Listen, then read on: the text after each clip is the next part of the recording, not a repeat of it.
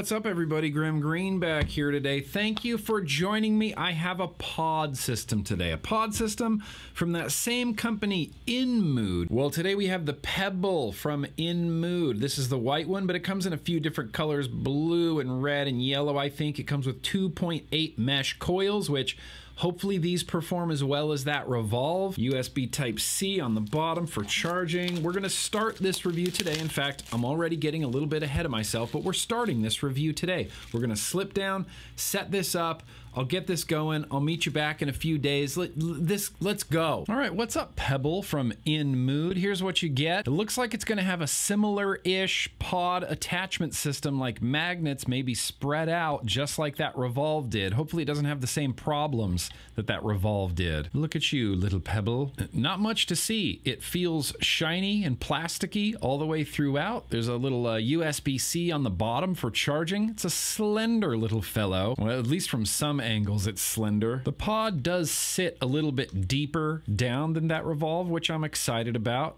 Coil head's gonna go in the bottom here, and it's got a very similar fill system. And then USB-C charging cable, where them coil heads at? Not that I was really expecting it to, but there's not a chance that this is ever gonna stand up in any capacity. There's no flat spot on this. Get out our coil head and put maybe like one or two drops right down the middle. Just something I like to do. It's not necessary. This company obviously has their own coil heads, and these look exactly like the same coils used in that Revolve. They even have a flat side on them despite not needing a flat side. There's nowhere to line up the flat side on this. Oh, Oh, okay. Wow, that's uh, that was very, very nice. Very open mouth to lung. Flipping the pot around doesn't seem to adjust the airflow at all. I might try to twist that coil head right now while we're here. Who cares? Well, Grimm Green is once again incorrect because there is a flat side. The flat side kind of goes up. There's a little tab right here where your flat side sits against. It's not painfully obvious, but it is there. And that's also going to move your airflows to the side, stiffen up the draw, just like I wanted. Maybe if you do it right the first time, Nick. You won't have to fiddle with it as much. Hair trigger,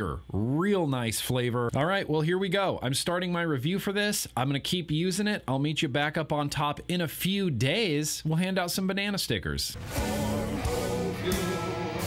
Just want to do a real quick update on this little Pebble Pod. I've been using it really, really heavily, and I have found that you still can't quite vape all of the liquid out of your pod. You still you get that phantom liquid. It's not quite as much as on that Revolve, but it's still there, and that's kind of a bummer. It stayed relatively clean over like four or five refills. It's only been, what, three days with this so far? And the shape of this, look, it's not as awkward as you think. That's what I was really worried about, it being really awkward to hold, but it's not. You just kind of, it just, you know, it's like a little pebble really, and it just fits in your hand really well. Your hand will just kind of naturally hold this shape. It's got a real unique form factor, but as I've already said a, a thousand times, real comfortable. Pod fits in here nice, securely. The magnets feel good and it feels firm. When I whip liquid out of it, I still will always put my, you know, my finger right on the pod because you don't want to launch it across the room. Mm-hmm. There is an open side, closed side as well. And I keep swapping back and forth between the two because I can never quite decide which one I really want to use. The open side is open and nice and I like it, but it does sometimes cause that switch to not be able to fire, you know, it kind of sputters out. And the tight side, wait, I think this is the tight side. Mm-hmm. The tight side is quite tight, but I don't know that I like it. It's real spongy. I don't know. It's taken getting some used to. I'm new to the really tight airflow enjoyment. I've always enjoyed an open airflow, but there's been a few pods recently that I've used that have kind of changed my mind on the subject, and I like that tight airflow, so maybe this tight airflow will grow on me. Anyway, I'm still just on coil head one, maybe three days five to six refills. I've really enjoyed using it so far. These coil heads are nice. They are, I think, the exact same coil heads from their other Revolve product, which is fine because I actually still like this coil head and I've still been using it like crazy, trying to, you know, really push it to the limit. Most of all, I just kind of like sliding this across my giant mouse pad on my desk. I don't know. I think I kind of prefer the tight airflow on this. Anyway, we're not ending this party here. I'm going to keep using this. I'll see you back here in a few days to hand out some banana stickers. Uh, we're not ending this here. I just wanted to do a real quick update and let you guys know that I went ahead and just opened another pod like I inevitably do. I always want to have like two coil heads going just in case, I don't know, one of them can be really great and one of them might not be. I like to have two. I've been scrutinizing over these little pebbles probably way too much for just one singular review, but damn it, that's just how I roll. So just a quick update. Another one's going. I, I promise it's just going to be a few days. I'll meet you back out here. We'll hand out some banana stickers. Ah, the classic car shot. Well, I just wanted to say something real quick about this Pebble. Still enjoying them tremendously. I got both of them in the car with me today.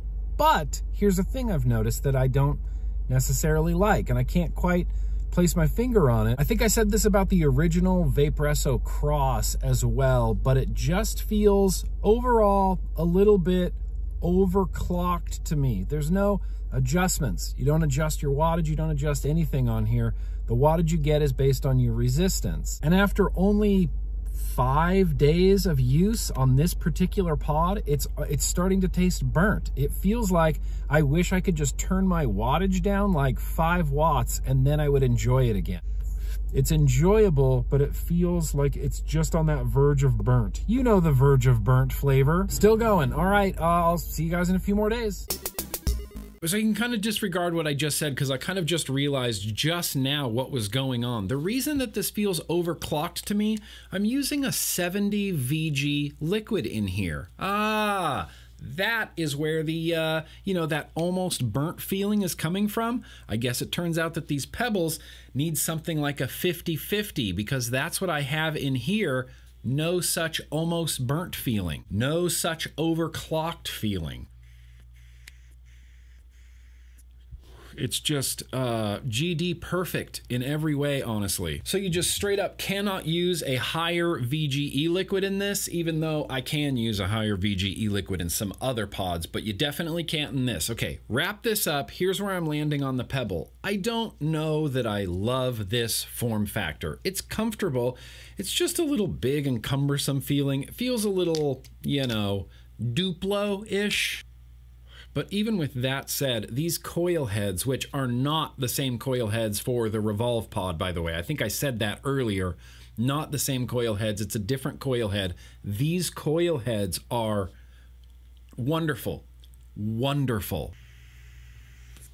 Even on the open setting, it's a hair trigger. The tight setting is tight and enjoyable okay, let's do banana stickers. This is going to be difficult. Just be simply because of the way that it vapes, I feel like I want to give it mm, at least eight banana stickers. Yeah, it's happening.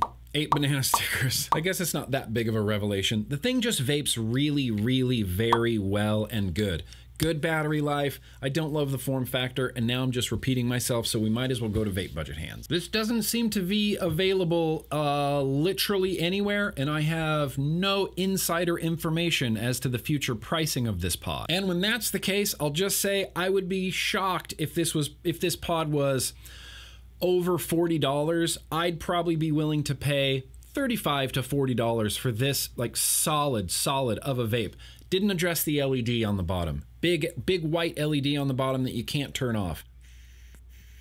It's not a huge deal. You vape this in your car at night, just blind you. No, that's not a deal breaker for me. Well, we've reached the end of the video, so I'm gonna put a bunch of science in the description of this video because when it comes to a Grimm Green video, what? Because when it comes to the science of vaping, yes, I would like you to listen to those scientists. Me, I'll just tell you, no matter what's in your hand, you guys, absolutely, let's keep on vaping. it's like 10:30, and I'm uh, just gonna smoke. So